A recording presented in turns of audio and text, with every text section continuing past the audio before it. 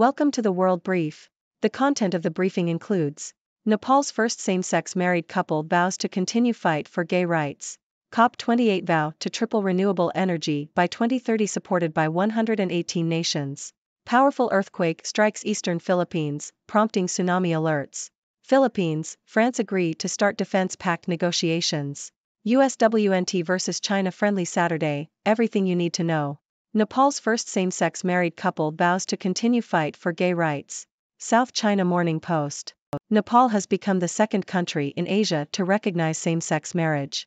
The first gay couple to have their same-sex marriage officially recognized in the country have vowed to campaign for changes in the law to help others like them to get married. Surendra Pandey, a man, and Maya Gurung, a transgender woman, were able to legally register their marriage at a village council office earlier this week. Nepal is one of the first countries in Asia to recognize same sex unions. The constitution adopted in 2015 also explicitly states there can be no discrimination on the basis of sexual orientation. COP28 vow to triple renewable energy by 2030 supported by 118 nations. Nikkei Asia. A joint proposal by the US, Europe, and the UAE to triple renewable energy capacity to at least 11,000 gigawatts by 2030 has won support from 118 countries at the 28th Union Climate Change Conference of the Parties. Japan has added its support and emerging and developing countries in Asia and Africa are being called on to participate as well. The aim is to state the goal in the final agreement of the summit, in which about 200 nations will participate. Powerful earthquake strikes eastern Philippines, prompting tsunami alerts.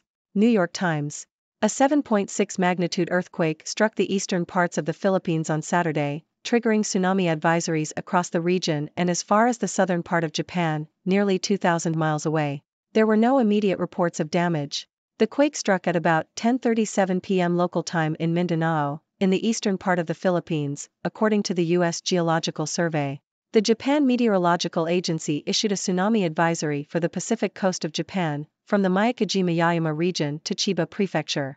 Residents of the provinces Surigao, Del Sur and Davao Oriental on the eastern part of Mindanao were warned to head to higher ground or move farther inland because of the possibility of tsunami waves of more than 1 meter, or a little more than 3 feet, according to the Philippine Institute of Volcanology and Seismology. Philippines, France agree to start defense pact negotiations. Bloomberg. The Philippines and France are in talks to establish a defense agreement that would allow troop visits. This comes as the Philippines seeks to strengthen military ties amid tensions in the South China Sea. The agreement, if reached, would enhance defense and military activities between the two countries. The Philippines is also in discussions with Japan for a similar deal. USWNT vs China friendly Saturday, everything you need to know. Yahoo! The U.S. women's national team will take on China in a friendly match on Saturday, marking the team's first game since their early exit from the 2023 World Cup. The match will be broadcast on several networks, including TNT and Telemundo. The team has already begun rebuilding, with new coach Emma Hayes set to take over next May. In the meantime, interim coach Twila Kilgore will lead the day to day operations. The team will also play China on Tuesday in a second exhibition match. Impact of Amazon's climate-driven drought may last until 2026. South China Morning Post. The Amazon rainforest is experiencing a severe drought, with rivers reaching their lowest levels in 50 years. The drought, which began in April, has been caused by climate change and has disrupted access to food and medicine in many cities across the region. The drought is also expected to have a significant impact on next year's soybean crop, with initial forecasts being revised downwards by up to 10 million metric tons. The drought could also have a serious impact on the climate, as it could double the mortality rate of the rainforest's largest trees, which store large amounts of carbon.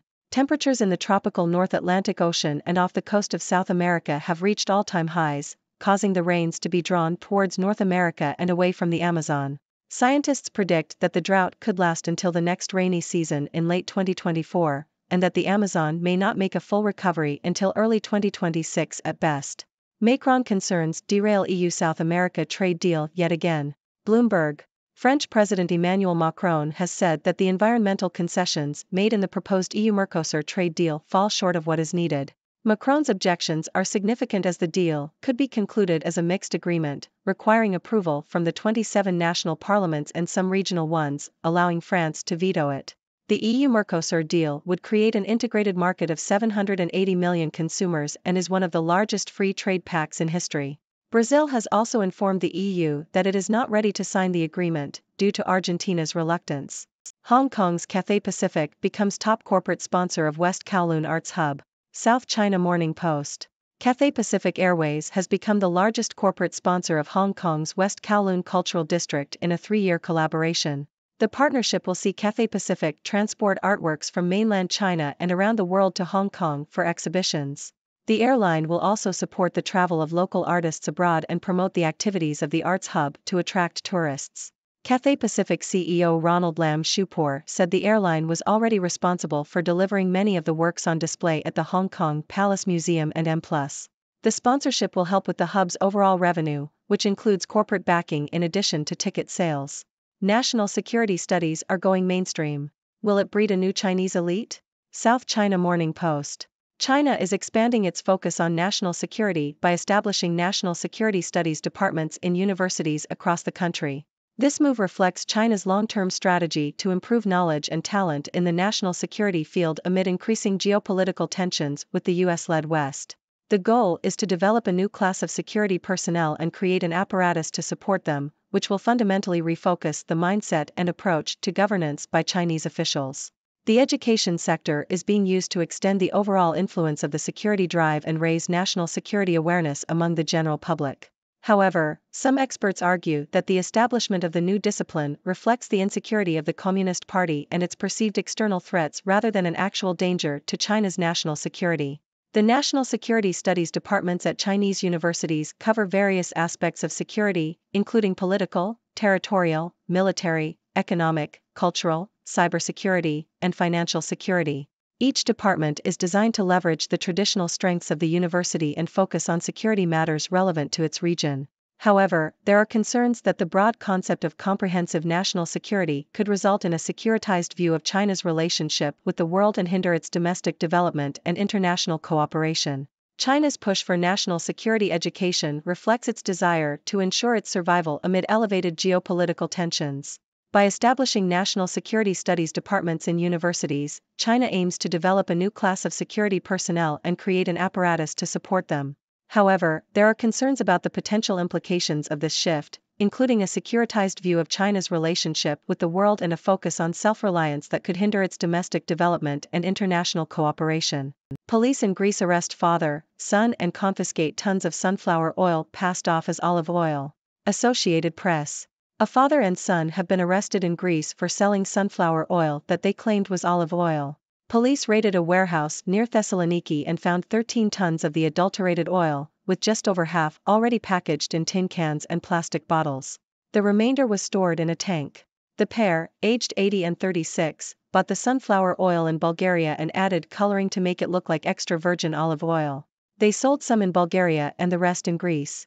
The duo have been released pending further investigation. Israel bombards southern Gaza as residents fear new ground offensive. South China Morning Post. Israeli warplanes and artillery launched a series of attacks on the south of the Gaza Strip after the collapse of a truce in the nearly two month old war between Israel and Hamas militants. The attacks hit mosques, homes, and were close to a hospital, leading to fears that Israel is preparing for a ground operation in the south of the Palestinian territory. The Gaza Health Ministry said at least 193 Palestinians had been killed and 650 wounded since the truce ended on Friday morning. Israel has vowed to wipe out Hamas, saying that the group poses a threat to its very existence. The renewed fighting has caused intense destruction and has taken place on top of the already massive destruction caused by the war. Conditions inside Gaza are reaching breaking point, according to the head of the International Red Cross. The first aid trucks since the end of the truce entered Gaza on Saturday, entering through the Egyptian side of the Rafah crossing. The warring sides are blaming each other for the collapse of the truce. Supply chains headline China Vietnam talks as US vies for influence. South China Morning Post. Chinese Foreign Minister Wang Yi visited Vietnam to strengthen supply chains as competition with the US for influence in the country intensifies. Wang called for increased high level exchanges and improved security, economic, and maritime ties between China and Vietnam. The visit is expected to pave the way for Chinese President Xi Jinping's visit to Vietnam later this month, following U.S. President Joe Biden's visit in September. Despite strong trade ties, China and Vietnam are in dispute over parts of the South China Sea, but officials from both sides agreed to increase Chinese investment in areas in Vietnam that used advanced technology and were environmentally friendly. Philippines says China executed two Filipinos convicted of drug trafficking. South China Morning Post. China has executed two Filipinos who were convicted of drug trafficking, despite appeals from the Philippine government to commute their death sentences to life imprisonment. The two individuals were arrested in 2013 and convicted in 2016, after which the Philippine government provided funding for their legal defense. The government also appealed to Chinese authorities to commute their sentences, but China upheld the conviction. The executions come at a difficult time in the relations between China and the Philippines, due to escalating territorial disputes in the South China Sea. COP28, U.S. touts climate leadership as oil and gas output hits record. Reuters. U.S. Vice President Kamala Harris addressed the COP28 summit in Dubai, claiming that the U.S. has turned climate ambition into action. She listed over $400 billion in subsidies provided by the Inflation Reduction Act, announced a $3 billion pledge to the Green Climate Fund, and unveiled new measures to curb methane emissions from oil and gas operations. The U.S. is the world's second largest emitter of greenhouse gases and the largest producer of oil and gas, and the role of fossil fuels in the global response to climate change is a contentious issue at the summit. In Mexico, a Japanese traditional dancer shows how body movement speaks beyond culture and religion. Associated Press. Japanese traditional dancer Naoko Kihara has been practicing Hanayagi style dance for almost 24 years. Unlike the fast movements of samba or salsa, Hanayagi dancers move quietly and gently, performing a few controlled moves. Some of the repertoire is almost sacred, as the dances were historically performed to honor the emperor. Kihara said, We move our bodies close to the earth because we are part of nature. It is a respect for the earth. It is a story about anger, courage. It symbolizes the suffering of humanity.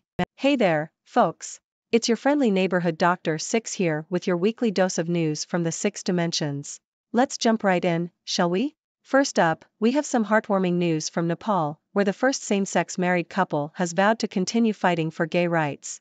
Surendra Pandey and Maya Gurung are trailblazers in their country and have set an example for others to follow. It's fantastic to see progress being made in the fight for equality. In environmental news, the 28th Union Climate Change Conference of the Parties has seen support from 118 nations for a proposal to triple renewable energy capacity by 2030. This is a significant step towards combating climate change and reducing our reliance on fossil fuels. Kudos to those countries for taking the lead.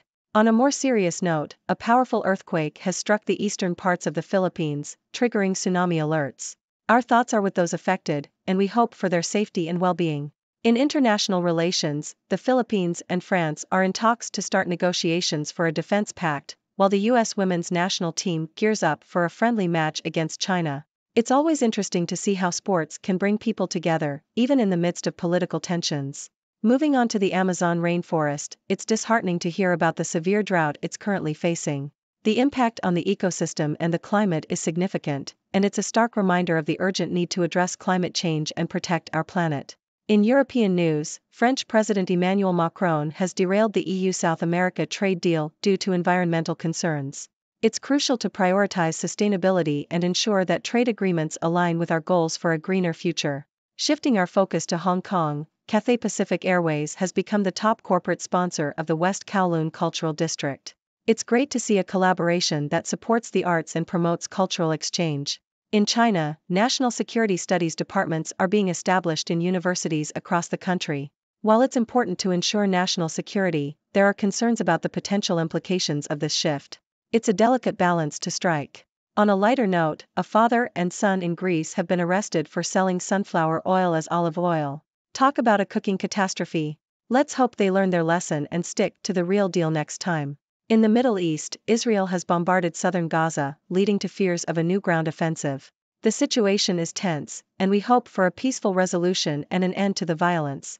Supply chains and influence are at the forefront of China Vietnam talks, as the competition between China and the US heats up. It's a reminder that economics and geopolitics are closely intertwined. Lastly, China has executed two Filipinos convicted of drug trafficking, despite appeals from the Philippine government. This is a tragic reminder of the severity of drug related crimes and the differing approaches to justice in different countries. And there you have it, folks. Another week of news wrapped up in a neat little package. As always, I'd love to hear your thoughts and opinions. What do you make of these stories? Are there any topics you'd like to dive deeper into? Let's keep the conversation going. Until next time, stay curious and stay six dimensional. Dr. Six out. Thank you for tuning in. The content above showcases the latest briefing reports and analytical synopses, thoughtfully curated by the Six Do team. These insights stem from a wide array of reputable media outlets, think tanks, government sources, and specialized experts worldwide. We encourage you to explore these sources for a comprehensive perspective. Keep in mind that while the content may not always align with the official standpoint of 6 Do Brief, it's not meant to be taken as absolute directives for decision making. Comprising seasoned media professionals, learned scholars, and accomplished scientists, the 6 Do team embodies a trailblazing, fully independent media entity. To customize 6 Do Brief to meet your professional needs, you have the option to subscribe to a diverse array of briefings on our website, 6dobrief.com.